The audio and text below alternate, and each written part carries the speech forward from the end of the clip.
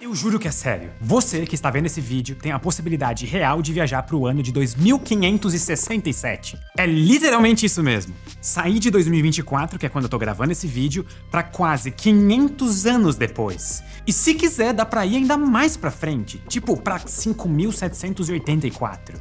Ou, se você preferir, até para voltar lá para 1445. Para fazer isso, basta entrar em uma certa máquina e em algumas horas você chega lá. E olha que nem é tão difícil assim. Custa alguns poucos milhares de reais, mas dá para parcelar. E eu sei que parece coisa de ficção, mas eu te garanto que é verdade. Daqui a pouco eu vou explicar melhor. Enquanto isso, quer ouvir um outro enigma sobre viagem no tempo? E também é de verdade. Esse caso aconteceu em 1582 na Espanha. Uma freira chamada Teresa de Ávila morreu no dia 4 de outubro. Ela foi sepultada 24 horas depois, no dia 15 de outubro. Como é que isso foi possível? Calma que eu também vou explicar isso já. Tanto o caso da freira viajante no tempo, quanto aquela história de você ir para lá para os anos 2500, são situações que estão diretamente relacionadas. Ambas são causadas por uma falha na matéria. Brincadeira. A explicação é um pouco mais complexa do que isso, então vamos começar agora. Tudo começa com a origem do tempo, ou, nesse caso, da marcação do tempo. Eu não sei se você já se perguntou, mas quando que foi que o ser humano começou a medir a duração dos dias e dos anos? A gente sabe que o dia representa o movimento de rotação da Terra, que é a volta que o planeta dá em torno do seu próprio eixo, e que o ano está ligado à translação da Terra, que é a volta completa do planeta ao redor do Sol. E esses dois movimentos, é claro, são naturais. Mas a forma de medir esses movimentos é artificial, criada pelo ser humano. Então por que, que um dia foi dividido especificamente em 24 partes, e não, sei lá, em 10, 100 ou qualquer outro número redondo? Uma das principais teorias diz, atenção para uma explicação aparentemente aleatória, que essa divisão aconteceu porque o ser humano tem cinco dedos em cada mão é que os sumérios, um povo que viveu há uns 5 mil anos na Mesopotâmia, tinham um sistema de contagem que usava o toque do polegar nas dobras dos outros dedos.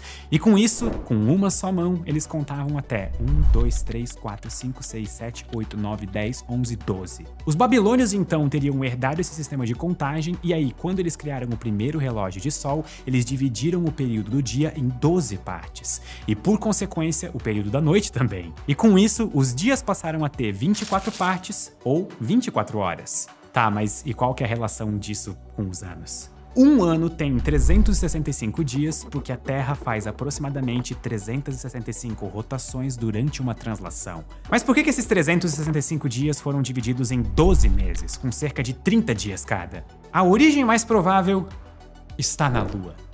Afinal, um ciclo completo de lua nova, crescente, cheia e minguante dura cerca de 29 dias e meio, o que, multiplicado por 12, dá 354 dias. Ou seja, praticamente um ano certinho. Mas é aí que tá o problema. Praticamente. Isso mostra que o calendário solar e o lunar não são perfeitamente sincronizados.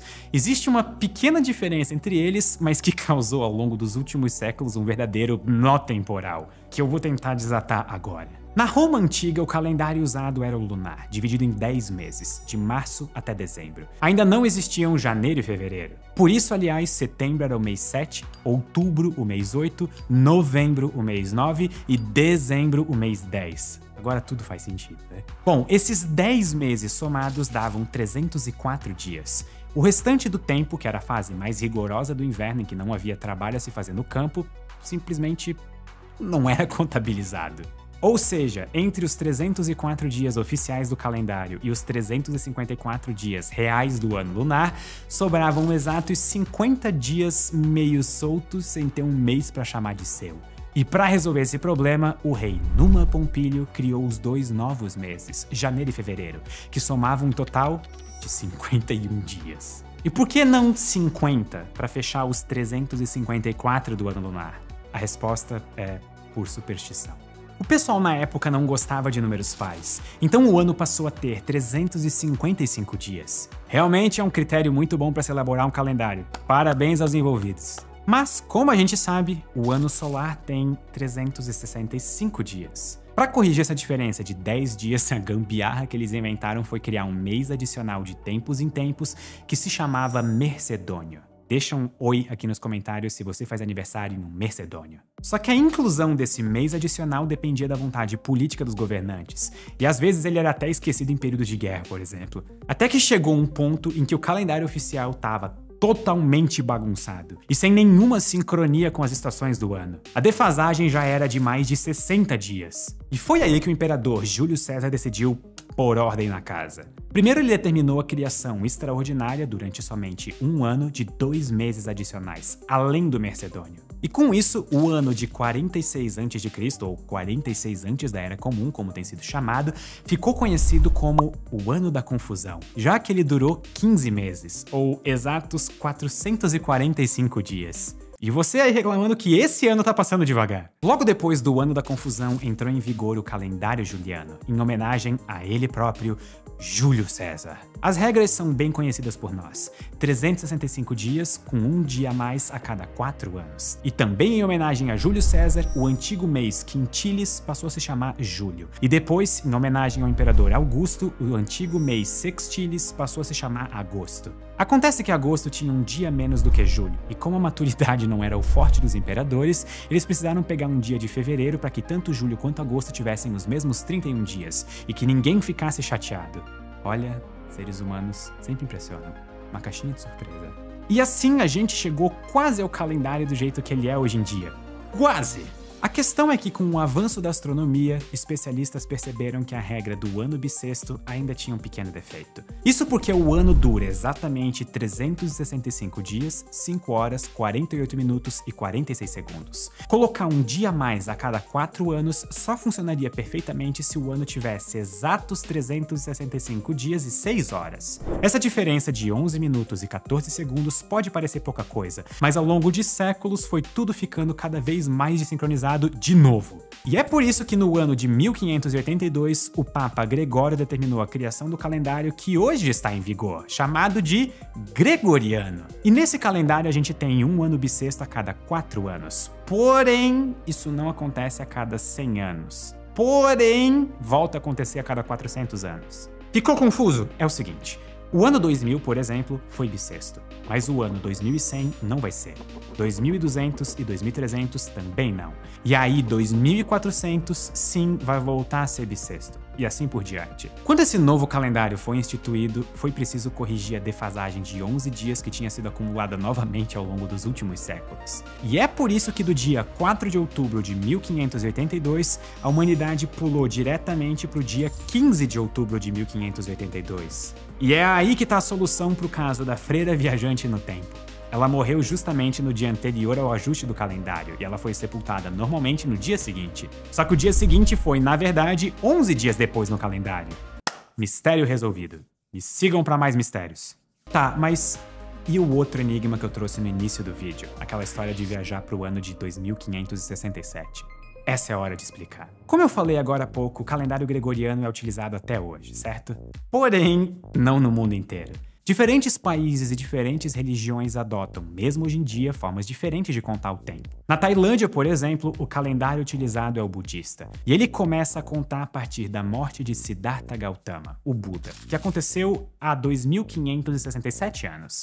Ou seja, se você quiser viajar para o ano de 2567, é bem simples. É só você pegar um avião e embarcar rumo à Tailândia. E ainda é possível desembarcar em outros anos. Tudo depende da religião predominante em cada lugar. Entre os judeus, por exemplo, o Ano Novo é festejado no chamado Rosh Hashanah, que celebra o início do mundo, que de acordo com a religião aconteceu há 5.784 anos. Já para os muçulmanos, o ano atual é 1445, já que a contagem começa com a fuga de Maomé de Meca para Medina. E até mesmo entre os cristãos existem calendários diferentes. Na Etiópia, por exemplo, a Igreja Ortodoxa calcula que o nascimento de Jesus Cristo aconteceu sete anos e oito meses depois do que é considerado pela maioria das outras igrejas. Ou seja, por lá ainda é 2016. TikTok nem foi inventado ainda.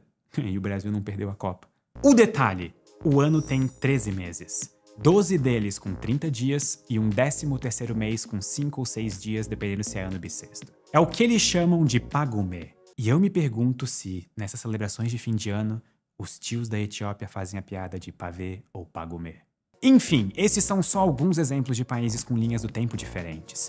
Mas para deixar bem claro, viajar para esses lugares não é exatamente uma viagem no tempo. Você não vai estar de fato indo para o passado ou para o futuro. Você vai estar apenas conhecendo culturas que calculam a passagem do tempo de um jeito diferente do que a gente está acostumado. Sendo que, em alguns casos, existem inclusive duas marcações diferentes em um mesmo lugar. É o caso, por exemplo, do Nepal. É um país que já gosta de ser diferente, a começar pela bandeira. Na medição do tempo, por lá também existem algumas peculiaridades.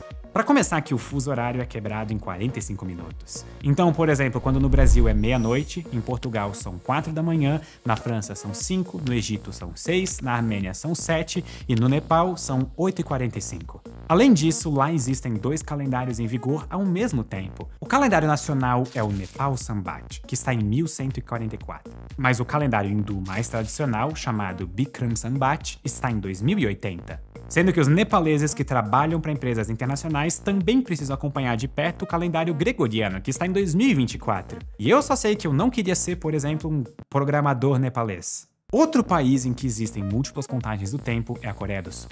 Mas lá é em relação à idade das pessoas. Cada sul-coreano tem até três idades diferentes. Uma delas é a idade internacional, que a maior parte do mundo adota. Você faz um ano exatamente um ano depois do seu nascimento. Mas algumas pessoas têm a tradição de celebrar o aniversário de todo mundo no dia 1 de janeiro. E outras ainda consideram que, além disso, a gente já nasce com um ano e não com zero. Ou seja, um bebê que nasce no dia 31 de dezembro já teria dois anos no dia seguinte. E para acabar com essa confusão e também com os custos econômicos que essas regras diferentes causam para o país, o governo de lá decidiu extinguir oficialmente esses cálculos paralelos e manter só o internacional. Mesmo assim, é claro, muita gente ainda considera que tem idades diferentes, já que uma tradição não acaba da noite pro dia. E essa é a palavra-chave para a gente entender por que, que existem tantas linhas do tempo diferentes mundo afora. Tradição. Afinal, são essas diferenças culturais que tornam os seres humanos tão interessantes. E por mais que possa causar um certo estranhamento, não existe problema nenhum na coexistência de calendários diferentes. Assim como cada lugar tem as suas leis, as suas línguas, as suas religiões, eles também podem ter os seus calendários. Cada um vai ter as suas vantagens e desvantagens. Até o nosso calendário gregoriano, por exemplo, também tem os seus defeitos. Afinal, o primeiro mês do ano tem 31 dias, o seguinte tem 28, mas às vezes tem 29, e aí o outro tem 31, e aí o outro tem 30, e aí o outro tem 31 de novo. Parece meio aleatório e é difícil de decorar. Uma solução é usar a técnica milenar dos ossinhos das mãos. Janeiro, fevereiro, março, abril, maio, junho, julho, agosto, setembro, outubro, novembro, dezembro. Sempre que tem ossinho é porque tem 31 dias. Mas será que não existiria um calendário perfeito?